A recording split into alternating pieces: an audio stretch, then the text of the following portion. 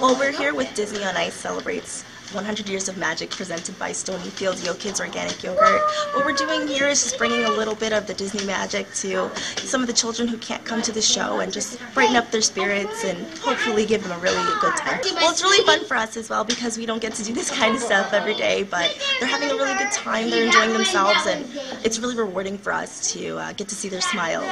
This is our opening city and we're really excited. We've uh, put a lot of time into this show. We are celebrating 100 years magic, so we have a ton of stories, new and old. We have classics like Pinocchio, Snow White, uh, Aladdin, Beauty and the Beast, and then we're really excited because we have Frozen right now and we know how uh, how happy everyone is to see all those characters on the ice. So we're really excited to see everybody come out and uh, celebrate with us.